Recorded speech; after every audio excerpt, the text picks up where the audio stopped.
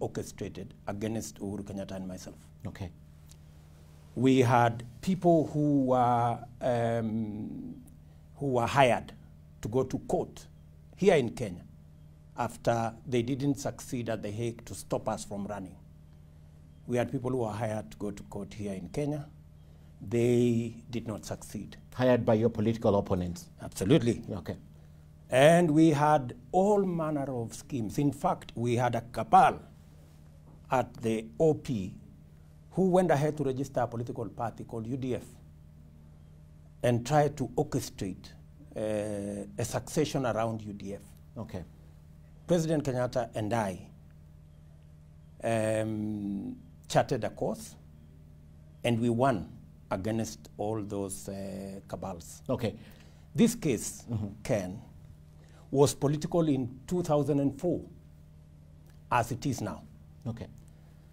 And uh, the issues around that case are very clear. In fact, in the 2004 scenario, I didn't even have to defend myself because the case was so straightforward, it ended at no case to answer. I didn't even have to defend myself. There was lack of evidence. Because there was not lack of evidence. There was no case to answer because the case is straightforward. The debt belonged to Kanu. The former president directed the Ministry of uh, Lands to give a piece of land to Kanu so that Kanu can pay a debt where KICC was being held by transnational as security.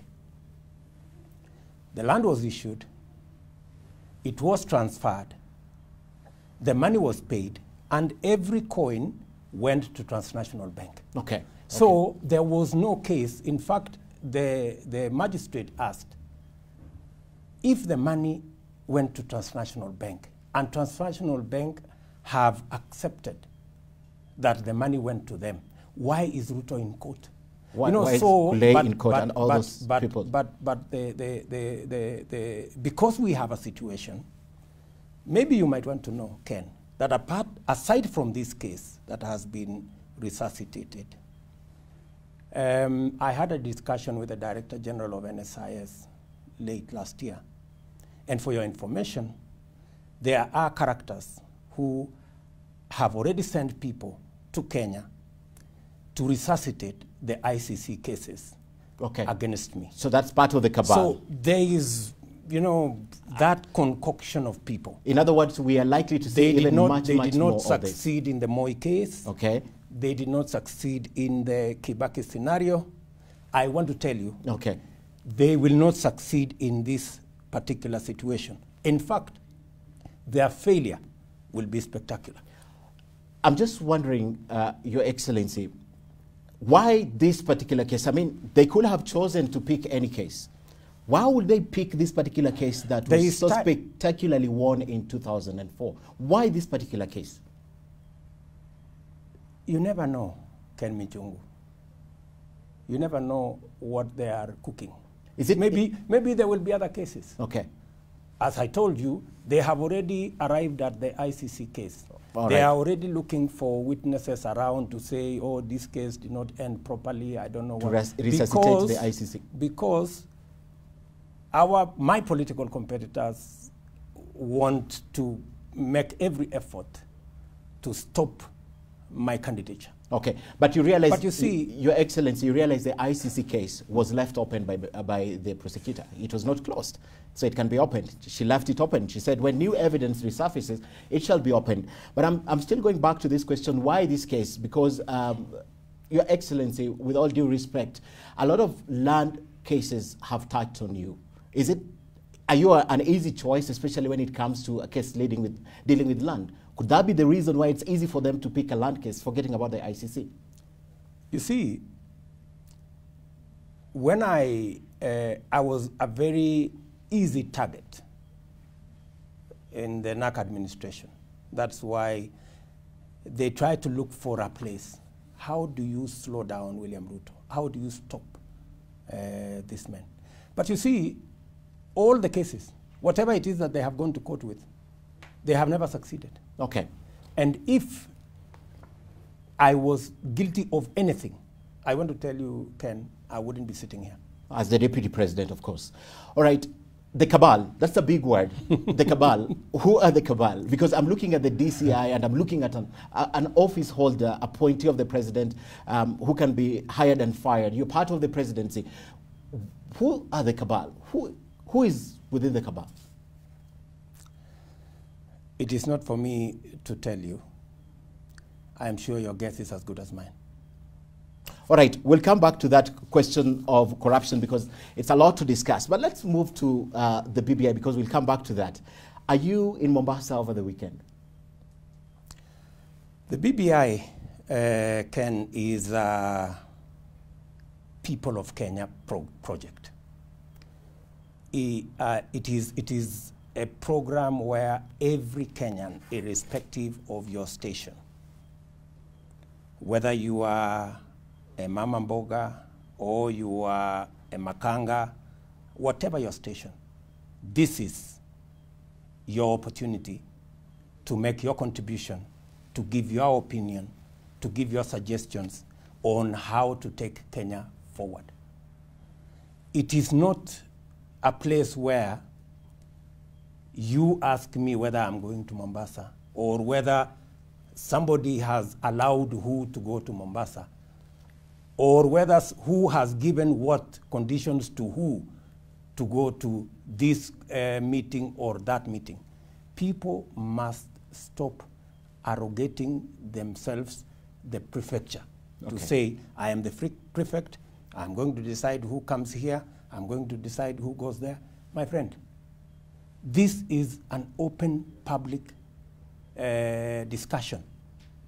You can join today, you can join yesterday, you can join the next day. In fact, for your information, I have already talked to uh, Yusuf Haji, and I have told him the day they begin the, the, their hearings, I want an opportunity to go and Present before present the. Okay. my ideas because I am seeing that after we had accepted BBI 1, and everybody said, well, this is a, a fairly good document. It captures everything from what the ordinary people want all the way to what the politicians want. But I see already the BBI 2, politicians want to hijack it. And they want to make it look like it is now a place where we are going to discuss positions Okay. and how we are going to discuss sharing of positions. I want to tell you that while there will be a discussion about positions, there must be a discussion about opportunity for other Kenyans, for ordinary Kenyans who don't have a job. What is their stake? How do they, how do we, in a deliberate way, create jobs? How do we ensure that nobody is left behind? That is the discussion we must put on the table. It cannot continue the way With I that- that see it trying to continue. Okay. That we are going to discuss about this position, prime minister that, deputy president this, and this position. So, but That's is that, not- is that, going to is, be is that a yes? Is that a yes that you'll be in Mombasa on Sunday? I have told Over the weekend. I have, I have told you, Ken. Yes. that it is not for me to tell you whether I'm going to this meeting or that meeting. I'm going to have a discussion with my boss, yeah, and we will agree how, how what the nature of attendance in any of these meetings, because, in my opinion, we want the best possible chance. You know, explain to me, uh, Ken, honestly, how you are going to collect views in a rally. Just explain to me. How The rallies how- are meant how- to edu- educate because they are sending you- even committee ha- of you have- experts you to have speak to the crowd. You have listened to those rallies. I have listened you to the listened to the rally in uh, Kakamega, the reservoir? Yes. It was about Sugoi. Uh, which, which is it okay. was about William Ruto. Your It Excellency will get How will you put Sugoi and William Ruto in the final report of the BBI? Before they spoke about William Ruto Hmm. and Sugoi, there were a committee of experts that were on, on the podium to share the perspective of the BBI report with the people. My friend, they were there. it was, I think, 5% of the meeting. But you admit they But were there. see- so th- there's a see- discussion but on the see, BBI. you know, if you are going to a meeting where 5% of the time is discussion on the subject, and 95% Is about something else. insults and name calling and and you see, Ken, let's Yes. be honest Yes. With ourselves. Mm-hmm. There were people who believed and wanted to drive a narrative that William Ruto is going to oppose the BBI. In fact, some of them were dazed the day I said we support the BBI. They, they, they, they said they have lost the opportunity because there are people who have been looking for an opportunity to create camps. Okay. Much as we are talking about unity and inclusivity, there are people who are hell bent on creating camps Okay. of yes versus no. we- are going to when discuss- they didn't we are get, going to when discuss they didn't the get that opportunity, just give me one minute. Yeah. When they didn't get that opportunity, they have gone to create rallies, right? But it was And the to president make- who said no, and they want it's to the make president these who rallies. said that no. in January you will be going out to sell this. It's the president who The said at president said every Kenyan should be given a copy To read. for Yes. themselves, and politicians should not go and pretend that they know everything. Every Kenyan should be given a chance to read. And he In also fact, said- yes. these rallies are working against what the president said. But be that as it may, those who are driving these rallies believed that we let's drive the rally so that we create a group of people who are attending the rallies And and, a group attending. of people who are not attending the rallies so that they achieve their original intention of creating camps. Okay. And I have told you, we will not give them an opportunity to create camps. We will not give them the opportunity to divide Kenyans. So we are going to attend the rallies. Okay. And every Kenyan is free to attend the rallies. And we want the Yusuf Haji led committee to begin the hearings that are structured so that people can go and present their views in a structured manner. The rallies can continue with all the, the drama around it and with all the name calling if, if they must continue and with everything else, that's fine. But we must also have, uh, as was set up, the Yusuf Haji led committee to present real opportunity for people to give their views so that we can bring on board the ideas, the suggestions of more Kenyans. After on- the rally on that uh, happened program. in Kakamega, Yeah. you came out to castigate that rally, the rally that happened in Kisii, and you even questioned where they're getting the money to run around, selling a document that has no opposition in your own words. Correctly. Suddenly, you want to join them, and you have forgotten the aspect of where are they getting the money to run around these rallies, and you're saying you're going to attend. So where did we lose this aspect of where are they getting the money? You forgot about it. This is my position, Ken. I still believe, up to now, that public resources should not be expended on these rallies. That is my position. Which is okay. And I am not sure whether public money is being used or not. But why did you if, say it? If public money is being used, Yes. right? If public money is being used, then those who are using this public money will eventually, you know, uh, be called to account. Okay. If they have followed the due process, fine. If they will not have followed the due process, They must then account. they must answer. But you are you are telling your your let me answer your second part of your of your of your you're, you're uh, uh, saying as if I changed my mind. No, no, you- you- you I spoke about resources being as- wasted, as- as- and I spoke about suddenly- resources Yes. being being wasted. But I have said even as we attend the rallies, it is my position that these rallies should not be organized using public resources. Good enough. Because Good enough. public resources on matters to do with BBI are domiciled with the Haji committee. Great. So So, unless Haji committee finances these rallies and a structured mechanism of how to collect views is, uh, is arrived at, then uh, uh, we, we, we must have it, we cannot have it both, Both ways. ways. All right. Lastly, Yes. let me also say the following. Because I think many Kenyans will believe, okay, did William Ruto change his mind? exactly. Let me tell you, I have told you that as a leader in Kenya, I have a duty and a responsibility to look through schemes. When I realized that these rallies were being, were being made to achieve the us versus them scenario, which failed when we all supported BBI, I said we might, we're not going to give these people an opportunity to create an A us division. versus them because there are people who are looking for the opportunity to divide Kenyans on a document that every Kenyan has agreed to support. Okay. Number two, I saw that there was a scheme to try and adulterate and create uh, and, and, and hijack the BBI and make it something that Kenyans did not say. Do you mean ODM rallies? That's what you said specifically. I'm saying these rallies. Yes. Yeah, much, But- I but mean, you call them ODM uh, rallies Ninety percent. ninety percent, as up until we begin to attend. Yes. ninety percent of the attendees Would have be been ODM. Okay. Yes, that's All right. the reality. But, but there are so many people from your government who attend the rallies. I don't think they are ODM, they're civil servants. I'm telling you, ninety percent. 90%. people who have been attending are ODM All right, supporters. let me flip the coin, uh, Your Excellency. Um, if these BBI rallies are being used to popularize ODM, what if I said your inspection projects around the country were also being used as your campaign platform?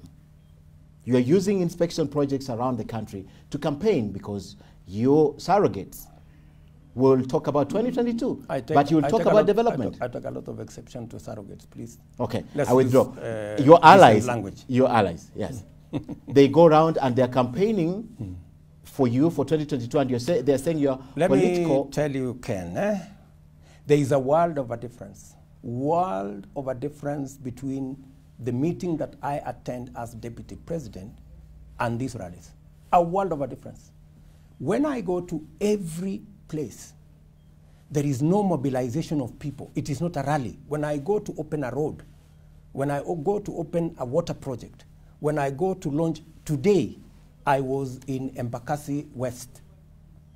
Because of our 100% transition, we are building additional classrooms. I went to launch an addi- additional classrooms in two schools. Those are not rallies. These, these are meetings about our agenda. okay. Don't forget that I am deputy president, I earn a salary, and I have a job.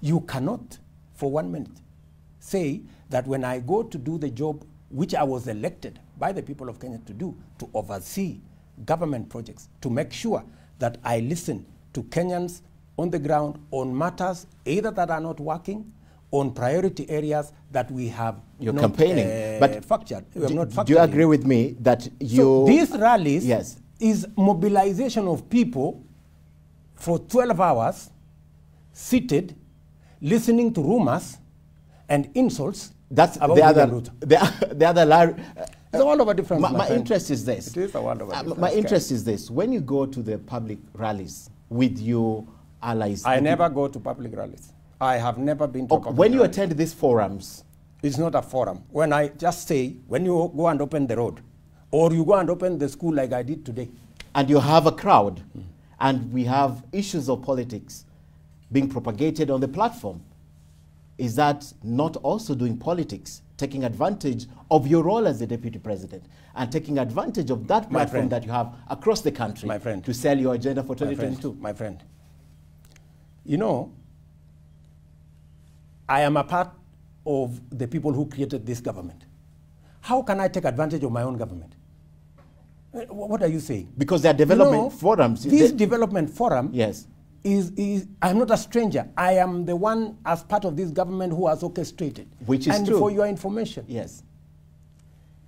if you are saying whether eventually the achievements of the Jubilee government will somehow be assigned to William Ruto, of course, yes, they will be assigned to William Ruto, you know, and the Jubilee Party, because we are the initiators of these projects and programs. So if you are saying, I am taking advantage, I mean, my friend, what are you saying? My concern I was am, more- Are you, my- are you saying my concern was I should more- not I should not benefit No, that's not what from, I'm saying. from the fact that the Jubilee administration is rolling out a transformational program in Kenya. Your Excellency, this that's not what I'm administration saying. led by Uhuru Kenyatta, myself as That's deputy not what I'm president. saying. That's what you're Your saying. Excellency, that's what I'm, what not, that's not what I'm saying. What I'm saying Yes. is the same. I'm flipping the coin on you. Yes. This rally should be about BBI Mm-hmm. and telling people what its contents are. Mm. And by the way, they don't have even the proper document. They haven't read it. Mm. So the politicians are telling them. I'm just flipping the coin. Mm-hmm. Don't you think the same advantage these politicians are taking on these platforms, the 90% Mm-hmm. is perhaps the same advantage the people behind you are taking, not you, to campaign for you in your presence. And by the way, your boss has been concerned about this, about the political environment, about the politics that cannot cease, that goes on in the country all the time. My friend Ken, I challenge anybody in Kenya. Every place I have gone, including where I was today, I am so clear in my mind what my assignment is. Okay. Today, for example, let me give you today. If you open the clip and you are patient to listen to my statement from start to finish, I was discussing about 100% transition, which is government policy. I was discussing about uh, the regeneration program of roads, which, which covers uh, Eastlands. I was discussing about the water problem in Eastlands, where we are constructing a big pipeline worth uh, 1.5 billion from Kiambu to Embakasi. I was discussing about sanitation, and I was informing the people of Embakasi that in June this year, we will be going back there with the president because we have a 10 billion program for sanitation of 200,000 households in Eastlands. So basically, That it is the pro- and I, and. I do that in every meeting because I know what my job is. Your Excellency, I the for concern it, is and not I you. do with a lot of passion. Your Excellency, if it is not about it's me, not about you. if it is not about me, my brother, if it is not about me, forums. why don't you look for those people and ask them? Why are you asking me the question? I'm looking for you to ask you why do you allow them to do that on the platform? Because you speak last. Why your- don't you for challenge your- them not to for do your that? information, many of these people are elected leaders in their own right. They are not my appointees. They are not my employee. They are not my employees. They speak sometimes issues about the people, and in fact, many of them articulate issues. They tell me, Mr. Deputy President, this road has stalled. Mr. Deputy President, you guys promised us electricity. We've gotten only so many uh, transformers.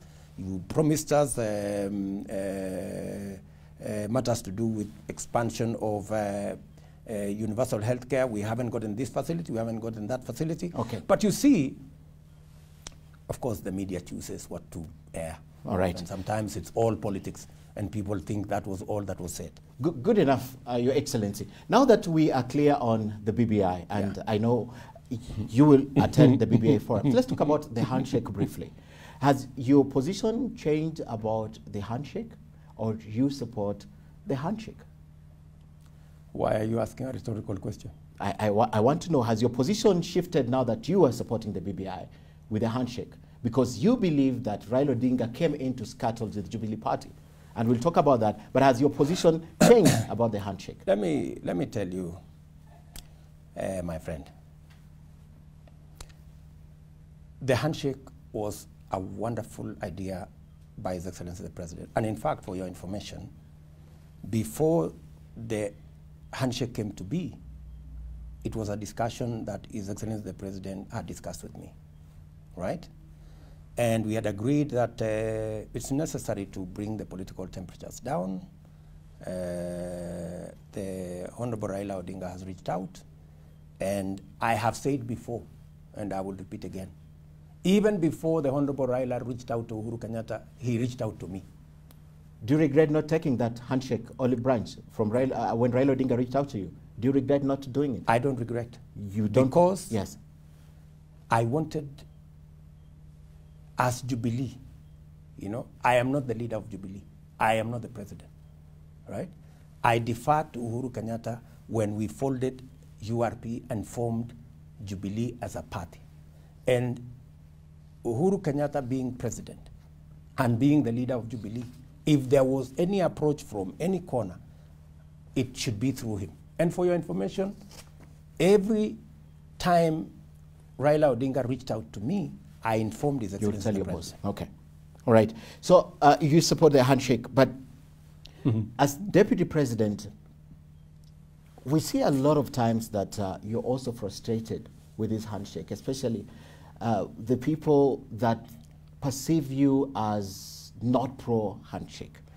Um, I've heard your allies speak about your frustrations. Today, I want you to tell Kenyans if indeed you feel a little bit or at most some frustration with your own government.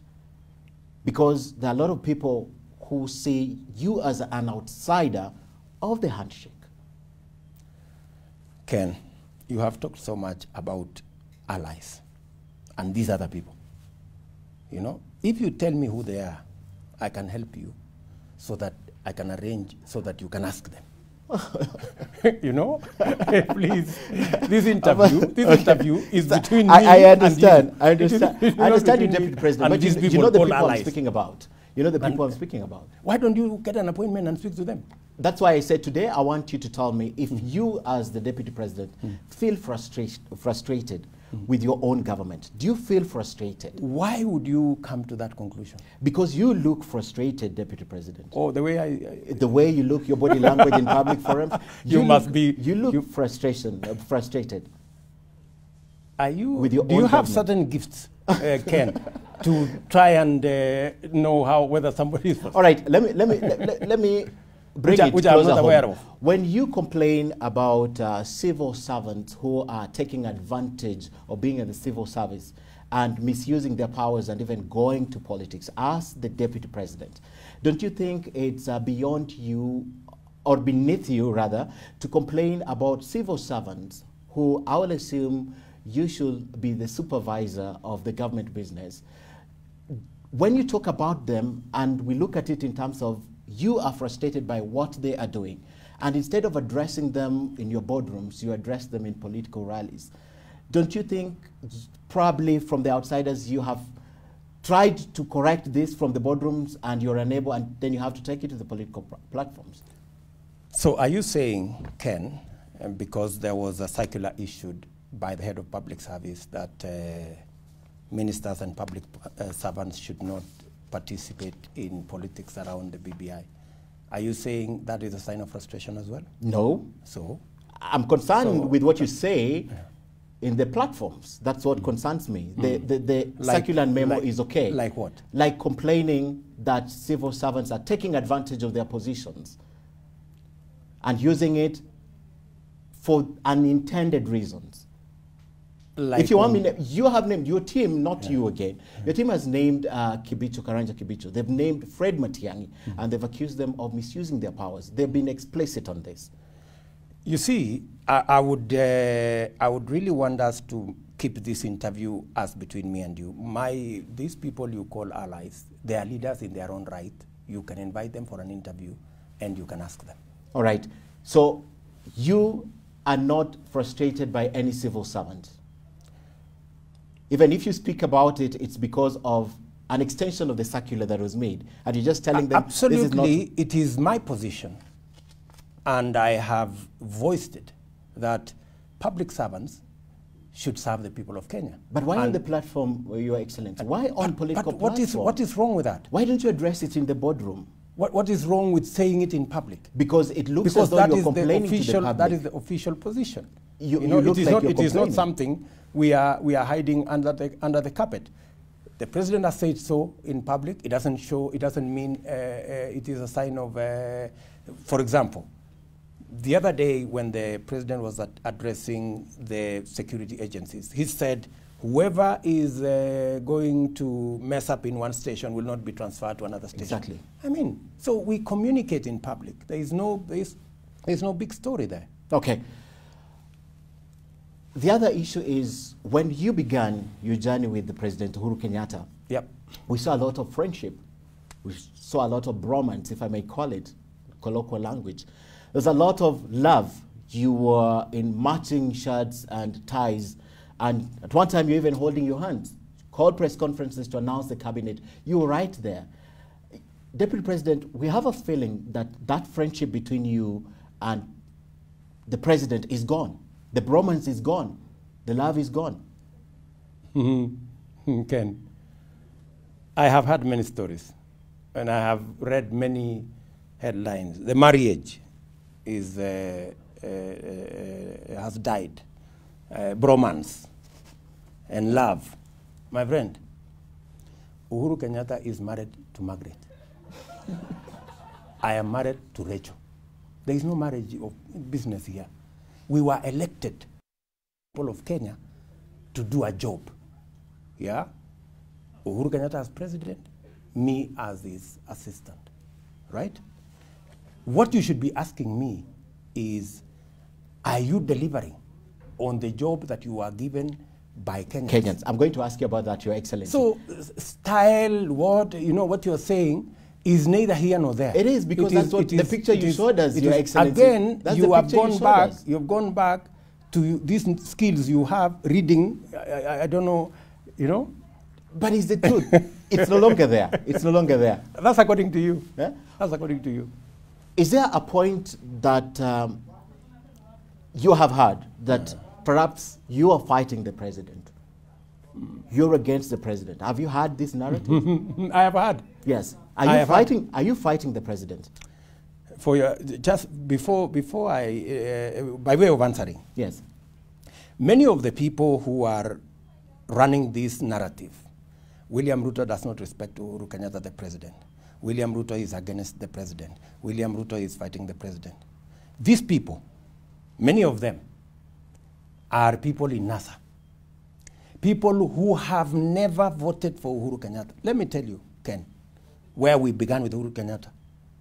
I knew Uhuru Kenyatta in 1998, 1999 for your information, even the first time for Uhuru Kenyatta to come to parliament as a nominated member, the former President Moi sent me to Mark Too to resign so that Uhuru Kenyatta can be nominated, Nominated. as a member of parliament. And Uhuru Kenyatta knows. I had a rough time with Mark Too, persuading him, and he gave me a list of conditions. And I explained to the former president, and I explained to Uhuru Kenyatta. That's how far back I go. For your information, in 2002, when former president decided that Uhuru Kenyatta is going to be our candidate, very many people in Kenya gave lukewarm support. I stood by Uhuru Kenyatta up to where he conceded. Let me tell you a story. When we were sitting in State House, as the results came in, we were almost 50 members of parliament. But when the time came for Uhuru Kenyatta to go and make the concession speech, we left, we left State House 50, we arrived Serena 3 Only. only. Okay. And one of the three was yours truly, William Ruto. Who was the other Let me also tell you, yeah, you have a clip, you will see. Let me also tell you, when 2017 and 2013 came, yeah, and Uhuru Kenyatta was looking for somebody to support him, Kalonzo Musyoka refused, Musalia refused, even Eugene refused. The only serious politician who was willing to cede his ambition for Uhuru Kenyatta was William Ruto. The arrival of Raila. And, and you see, Yes. so if, if you are talking about respect, surely, if there is one person who has supported Uhuru Kenyatta at every turn, the only people who maybe have done more for Uhuru Kenyatta in terms of political issues is maybe Margaret, his wife, who uh, supports him, and members of his family. There is no politician who has supported Uhuru Kenyatta more than myself. Again, I'll go back to this. And, and so all these uh, shenanigans and stories being peddled by people who are insulting Uhuru Kenyatta the other day with all, calling him all manner of names, you know, calling him all manner of all manner of names. Today they want to give me a lecture On how to relate on with the boss. supporting Uhuru Kenyatta. Surely, Honestly, give me a break, please. Whi- While you have unfitted, while you have respected mm-hmm. the president, again, I'll go back to this and I'll mention it. The people you work with mm-hmm. still attack the president on the podium and demand, make demands which look like they're doing it on your behalf. You see, again, you are going to people and allies. And these are not b- babies. They are not my employees. These are people who you Why don't you stop Ken them, Mijungu, Deputy President? When, when uh, you, Ken Mijungu, Yes. can deal with them. Why don't you stop them? And you see, Yes. this is the narrative that has been sold.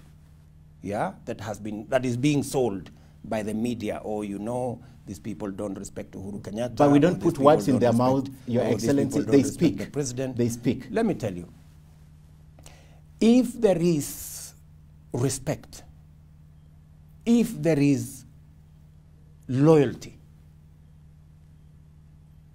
that must be displayed.